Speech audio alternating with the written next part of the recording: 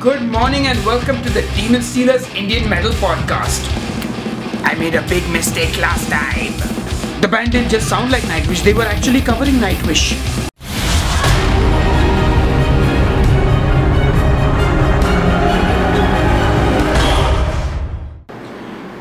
Hey guys, so welcome to the podcast once again. And last week was a really interesting episode. Um, as you may have recalled, I was quite um, forthcoming with my opinion on certain things, and uh, I called out this band Project Polyphony about uh, sounding too much like Nightwish. Well, it turns out they were actually covering a Nightwish song, and I had not heard that song because it's on the newer album.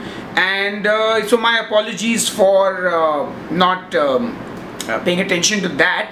But however, the advice I did give following that is still uh, quite true. You know, sound like yourself, don't sound like your influences. Uh, so, my apologies for that. Um, that's an error that I have now rectified. I also criticized two other bands, and the funny thing is, both bands messaged me. One of those bands was actually happy with the criticism. Uh, they felt that it was uh, good. It, the exact words were, "We don't have an ego. We're here to learn," and I really appreciate that. The other band, however, said I was too harsh, and I got really fucking pissed off sitting and trying to justify what I had done. And that's the thing guys. If you are putting your music on a public platform me criticizing it on the podcast and being polite about it i think i was quite polite about it is really not something to get upset about. You haven't even begun to experience what it's like when people slam you especially when you start getting hate which is nothing to even do with your music so bands start toughening your exteriors you got a cruel cruel world in front of you anyway now that that's out of the way, in the news today, Hyderabad based death metal band Godless have signed with Transcending Obscurity and they have also released a teaser video for their upcoming EP. Joe Haley from Psycroptic has done the mixing and mastering and also done a guest solo on it. So check it out, this looks to be very promising. Well, there's no other news, so we're going to go straight to the weekly videos. Doom metal band Dirge have released a video of them covering the song The Blue by Acid Bath at their last gig in Hyderabad. Check it out. Spine Shatter from Chennai have released drum cam footage for their song Eyes of Hate. Check it out.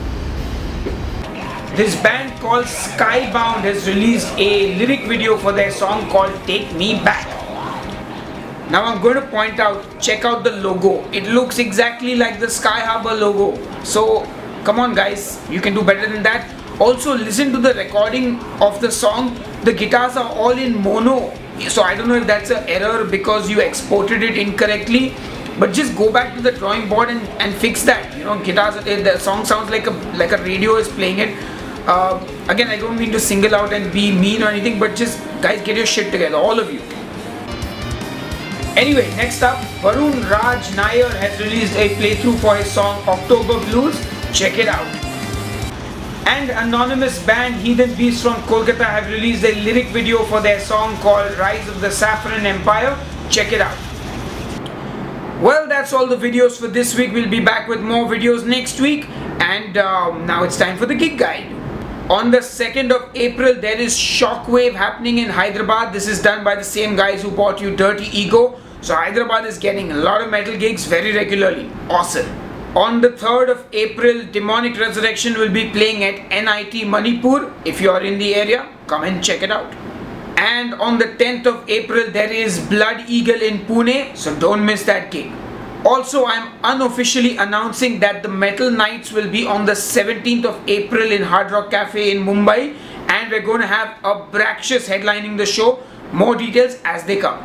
Well, that's all the gigs for this week. Time to go to the merch corner. Thrash metalers Sceptre have put out some coffee mugs and mobile phone covers on todphod.com. Check it out. Guwahati based, but now I think they are from New Delhi. Judas Ancestry have released a Make My Merch campaign for their t-shirt. I quite like the design. Check it out and order it if you like what you see. And death metalers godless have put out a fan pack on transcending obscurity. This is their uh, ep which is going to be released on may 7th and you can order the fan pack which is the ep and a t-shirt. Pretty kick-ass design. Check it out. And that's a wrap. No more merch this week anyway so that's all for this week and i'm not going to do the podcast next week you're going to see it the week after that i'm going to try the twice a month format and see how that goes anyway as always i've got some music to recommend and i recently ordered this and i got this this is the brand new Heathen Beast EP from Transcending Obscurity, Rise of the Saffron Empire. Check it out. Uh, I think it's a pretty pretty cool EP. I quite enjoyed it. Uh, give it a listen. It's got it's kind of black metalish with uh, some Indian influences. It's quite a funny cover and funny thing, you know. These two guys on it, hilarious. Anyway, I'm out of CDs to give away, so if you're an Indian metal band and you have an album that you'd like me to give away on this podcast, uh, send me a message. But who won last week's CD? The Demonic Resurrection one? Well, it is Nick Salvation. Congrats, Nick. I'll get in touch and I'll send you the CD. So that's all for this week's episode. I will see you in two weeks. And till next time, cheers and keep listening to Indian Metal.